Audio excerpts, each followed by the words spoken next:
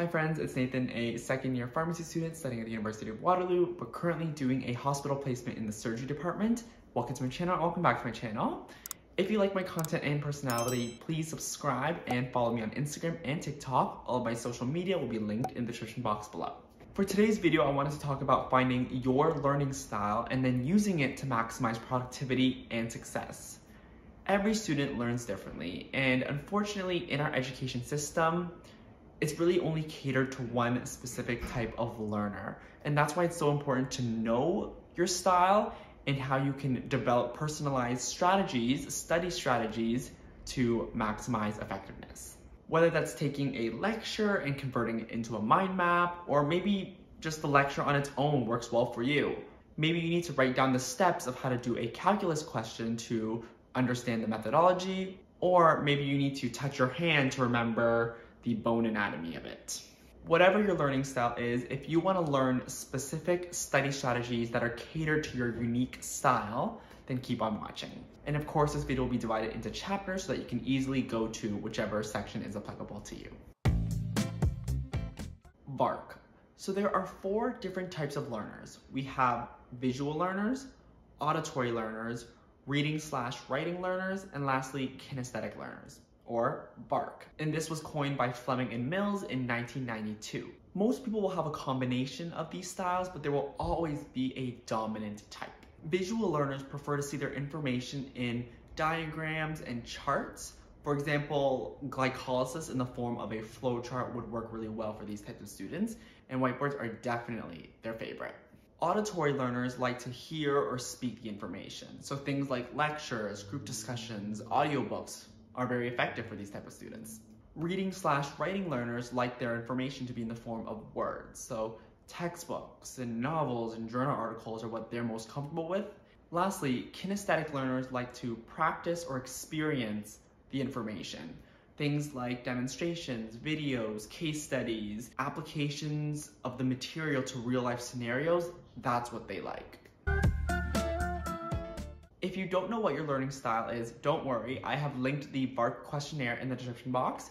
You can complete it and it'll tell you what your dominant type is as well as what your scores are for the other three modalities. Because like I said, everyone's kind of on a spectrum and we all have a combination of each style. We just have a dominant one, of course even if you think you know what kind of learner you are, I highly recommend giving it a go again because people change and sometimes what you think you are may not necessarily be the case. I'm a kinesthetic dominant learner. However, I wouldn't say kinesthetic is my most used study strategy, and that's just because pharmacy school doesn't really allow for it as much. I find myself using all of the styles, so auditory and reading slash writing would be used for learning the high volume information that accompanies a pharmacy school, but then I would be using visual and kinesthetic strategies for my clinical skills, especially my OSCEs. Once you figure out what your learning style is, you wanna take a look at your studies and see how your style fits with what you're learning. Certain subjects like English literature will be more targeted towards reading slash writing learners, but that doesn't mean you can't use auditory techniques to learn your information. It's very adaptable, it's very flexible, and over the next four chapters of this video, I will be going through my study strategies for each type of learner so that you can take them and adapt them and use them to your benefit. But before we get into each style, I wanna tell you about DataCamp who has kindly sponsored today's video. DataCamp is an online learning platform that teaches you data skills conveniently and to anyone. With courses for all different levels, both beginners and pros can benefit and get new knowledge. DataCamp has over 350 data science courses and they're all designed by top experts. I developed a basic knowledge of R back in a statistics class in undergrad. And since learning that basic introductory knowledge, I've been able to apply it to my research, to my data analysis, and my preceptors have been very impressed with my working knowledge. However, I didn't get to take any more advanced classes because my schedule didn't allow it. But with DataCamp now, I can continue developing my R knowledge and I highly recommend any STEM student get familiar with this language because it is used all the time for research. DataCamp also has courses in Python and SQL, and if you don't know where to start, they have a free assessment tool that will give you personalized class recommendations. Another really cool thing about this platform is that it provides a gamified experience, meaning once you complete levels, you'll get XP points. And this is all done on a browser. You don't need any additional software. Computer science and coding is becoming so valuable these days, and having that skill on your resume or on your CV can unlock so many career opportunities. And with Data Camp, you can become data fluent. If you want to level up your data skills, click the link in my description box and check out the first chapter to any course for free. Thank you, DataCamp, and let's continue on with the video. Visual learners. If you need to learn a process, flowcharts are your best friend. Let's say you need to memorize the glycolysis pathway. Start with your first product and then do an arrow, next product, arrow, next product, and just continue on. And if you do this over and over again, you will eventually be able to see that diagram, you'll be able to see that process in your head. And even if you can't see it in your head in that way, if you have an exam, get your exam and then immediately flip it over on the back page, draw out the whole diagram because you already have it in memory, and then you'll have a little cheat sheet on your exam. Flowcharts also work very well if you need to remember the storyline of a plot, because flowcharts work in a chronological order and our brain likes order, it allows us to keep it very straight and very clear. I also love using T-charts to highlight similarities and differences. So having two topics at the top, a line in the middle, and then just going over ideas, compare and contrast. And because you see the physical line, it allows yourself to keep it very clear and you won't have any confusion between similar processes, similar ideas, and it just keeps it very straight. This is also a great way to test yourself. So again, having those titles at the top and trying to list all those similarities and differences without looking at any resources is a great way to see if you actually know your content. Auditory learners. Say your notes aloud. If you guys have seen any of my study vlogs or finals vlogs, you know that I speak aloud and I will link them above if you haven't seen them. But when I do my Anki cards, I will verbalize my answer before flipping and revealing the card. And I do this because when you need to verbalize an answer, you need to come up with the sentence. You need to think about it. And your brain is more engaged when you have to verbalize something rather than just thinking the thought in your head. The action of forming a coherent answer aloud means that you actually understand the material. Also, the more senses you activate, the more it's committed to memory. So when you're speaking aloud, you are seeing the material, you are speaking the material, you are hearing the material. That's three chances for your brain to process that content, thus allowing for better memory. If you're interested in my unconventional yet effective Anki technique that allows me to memorize anything for my exams in two days, definitely click the link above. I made a video on it and it's a good one. I also like to teach the material like a lecture almost. One, I think it's really fun to do so, but two, if you can teach the material, you understand the material. If you're not able to teach it, then maybe you need to do some reviewing, become more familiar and comfortable with these concepts reading slash writing learners. If you are reading a textbook or a novel, I highly recommend annotating or taking down notes. Reading is great for understanding. And I'm ending the full stop there. Reading is great for understanding, but that's about it.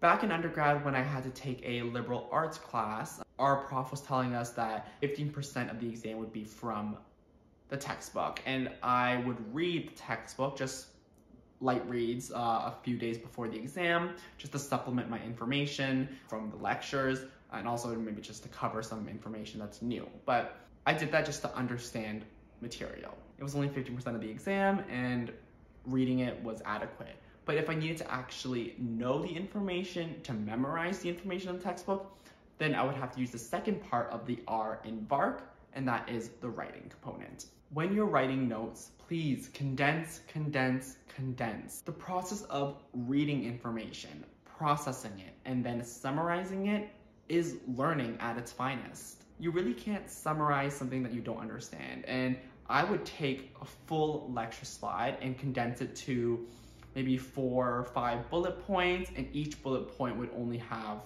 five words max. That's what condensing means. That's what summarizing is. And when you have those condensed notes, studying and memorizing becomes way, way easier. Kinesthetic learners. Sometimes the information in a lecture or textbook just isn't clicking with you, and that's when you head over to YouTube to find a video. Seeing an actor play Macbeth can help you really understand the character in a way that reading the play on its own could not have.